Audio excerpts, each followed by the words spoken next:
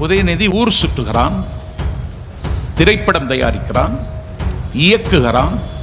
எடுடா துண்ட? அப்படின்னு மிரட்டுறான். எடுக்காதடா! எவன்டா வருவான்? பாத்துக்கலாம்டா! எடுக்க சொன்னவன் உயிரோட போக முடியாதுடான்னார் ஓடிட்டான். நீ வாரிசு அரசியல் பற்றி பேசுற. இது எனது உதயநிதி வந்தா உனக்கே உறக்கம் கலையுது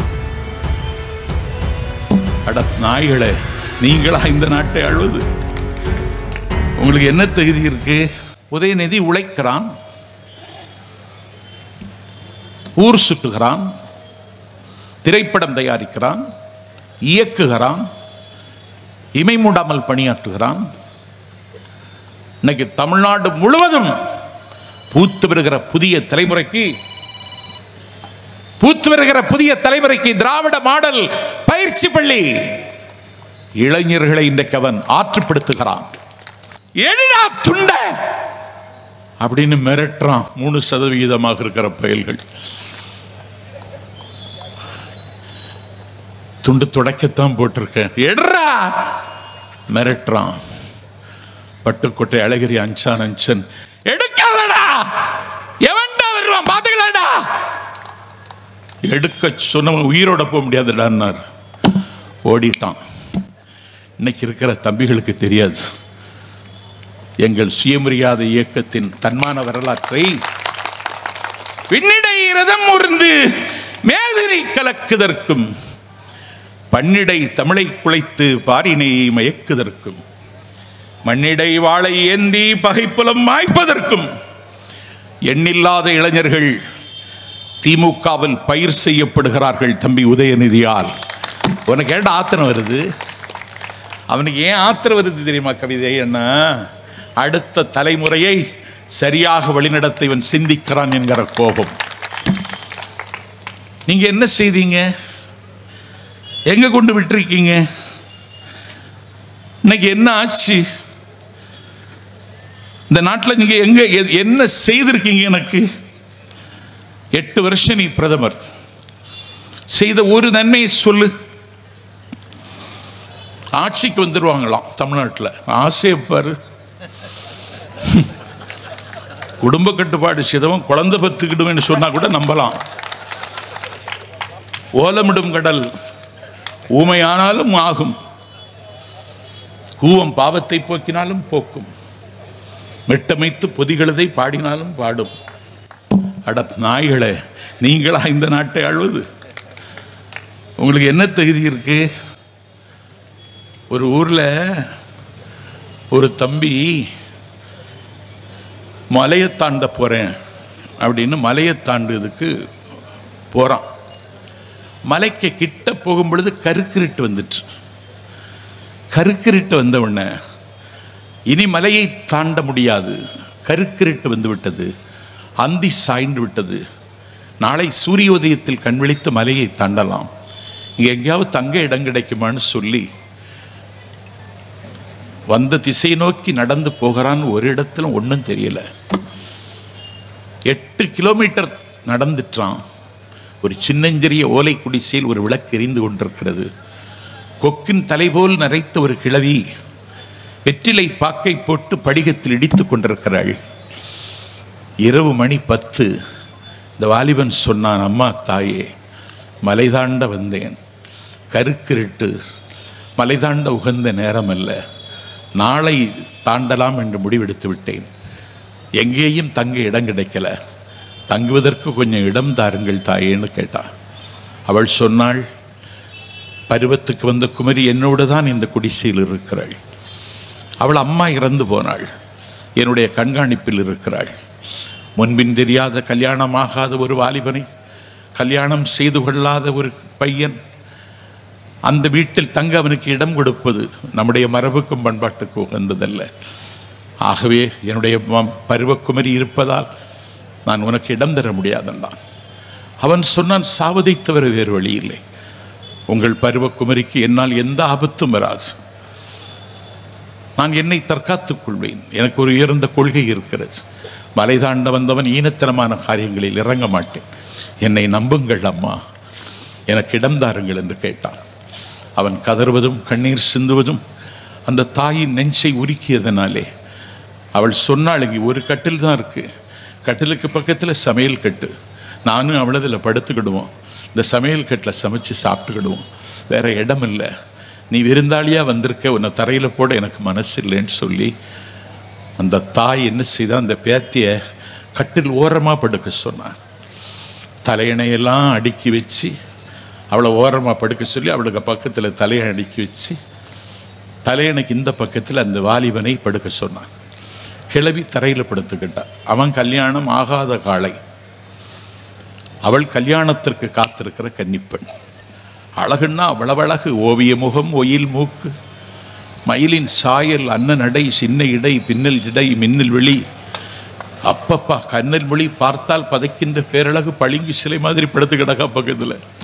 இவன் இந்த பக்கத்தில். இவனோ எடுப்பான தோற்றம் மிடுக்கான நடை பரந்த முகம் விரிந்த நெற்றி அடர்ந்து இருந்து செருண்ட மீச. ஆழ்வலியும் தோல்வலியும் உள்ள வீரன் இந்த பக்கம் படுத்திருக்கான் சும்மா கிடக்க முடியுமா? அவன் தூங்கிட்டான் களைப்பில். ஆனால் அவன் நினச்சா காலை தூக்கி போட்டுற மாட்டானா? கையை தூக்கி மேலே வச்சிட மாட்டானா? கண்ணேன்னு கூப்பிட்டுற மாட்டானான்னு அவா தூக்கம் வராமல் தவிச்சா அவன் நல்லா தூங்கித்தான் அவளுக்கு தூக்கம் வரலை. அதிகாலை சேவல் கூவுகிறது. துள்ளி எழுந்த இளைஞன் அந்த தாயின் காலை தொட்டு வணங்கி மலை தாண்ட போகிறேன் என்னை வாழ்த்தி அனுப்புங்கள் அம்மா அப்படின்னு சொல்லி அவள் வாழ்த்து கேட்டாள். சிவபெருமான் படத்துக்கு முன்னால் இருக்கிற திருநூற்று கிண்ணத்தில் இருந்து ஒரு திருநூறை எடுத்தவனுக்கு வாழ்த்தி வெற்றியும் விருது உனக்காகட்டு மகனை சென்று வா என்று வாழ்த்தினாள். மலை தாண்ட போகிறேன் தாயேன்னு வீட்டை இந்த வலது காலை எடுத்து வச்சு வேகமாக ஓடுகிறான். அந்த பருவக்குமரி அப்போது சொன்னாள் தலையணையை தாண்ட முடியாத நாயே மலையை தாண்ட போறியான்னு கேட்டாள்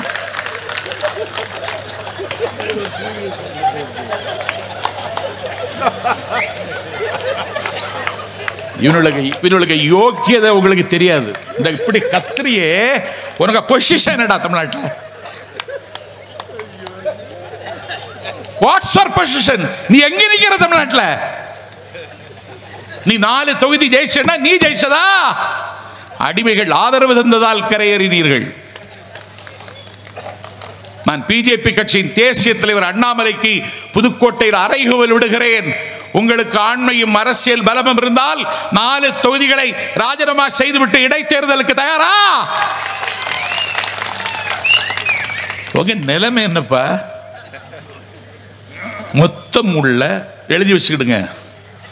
நான் செல்லப்பாண்டியனை கேட்ட உடனே செந்தில் பேசணுன்னே தயாராயிட்டேன்.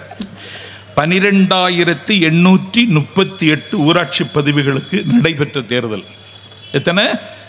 பனிரெண்டாயிரத்தி எண்ணூற்றி முப்பத்தெட்டு ஊராட்சிகளுக்கு நடைபெற்ற தேர்தலில் இவன் போட்டியிட்டதே வெறும் ஐயாயிரத்தி நானூற்றி எண்பது இடம். அப்படின்னா அறுபது பர்சன்ட் நிற்கலை உனக்கு எதுக்குடா கட்சி?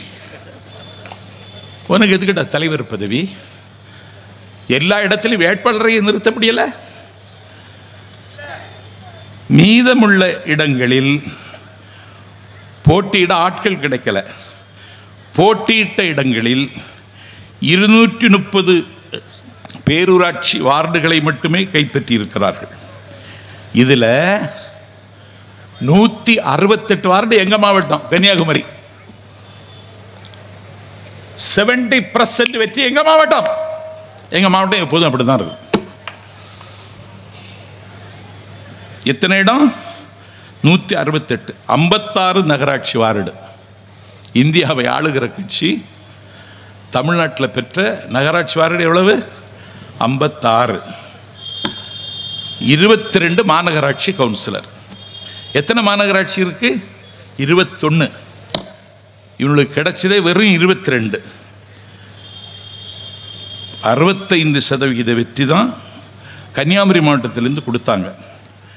மாநகராட்சி நகராட்சி வார்டுகளில் எழுபத்தி ஏழு ஏழாயிரத்தி எழுநூற்றி ஒன்று கவுன்சிலர் பதவிகளை திமுக கைப்பற்றி ஆயிரம் இடங்களில் எங்கள் ஆட்கள் ஆசனத்தில் உட்கார்ந்திருக்கிறார். கொங்கு மண்டலம் கோட்டை அவங்க நொங்கு அங்கே தான் விளைதான்.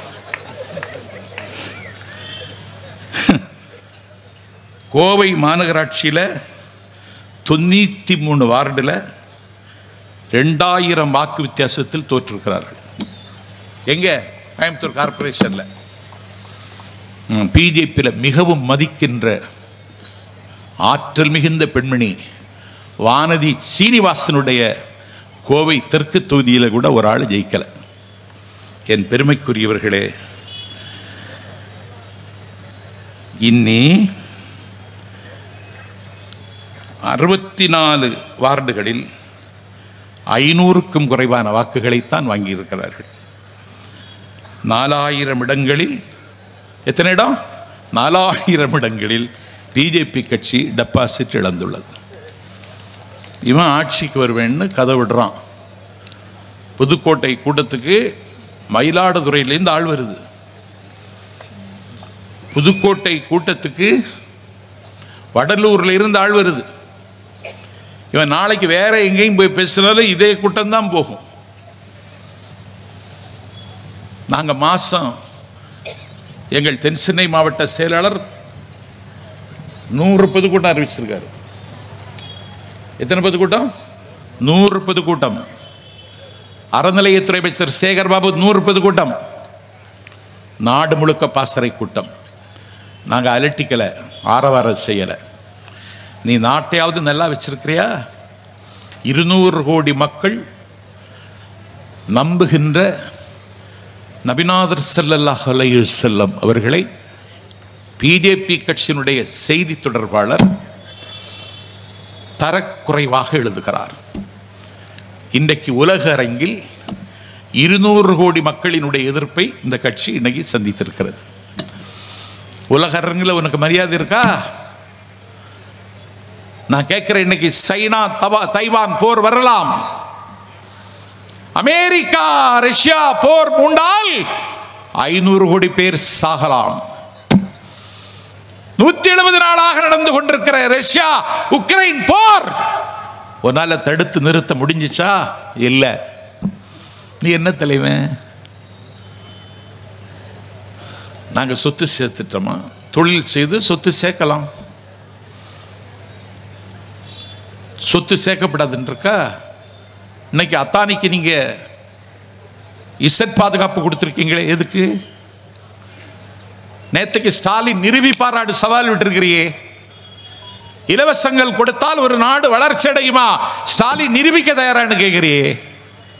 மனச்சாட்சியத்தவர்களே இதயத்தில் இரக்கமில்லாத அரக்கர்களே இந்த கொரோனா கொள்ளை நோய் எங்கள் உயிரை காவு கேட்ட அந்த ரெண்டு வருட காலத்தில் நாங்கள் அந்த உணவு விநியோக அட்டையில் தந்த அரிசி வைத்துக் கொண்டல்லவாடா எங்கள் காலந்தளினோர். செய்ய தொழில் இல்லை வருமானத்திற்கு வாய்ப்பில்லை. நீ இன்னைக்கு பதினஞ்சு பத்து லட்சம் கோடி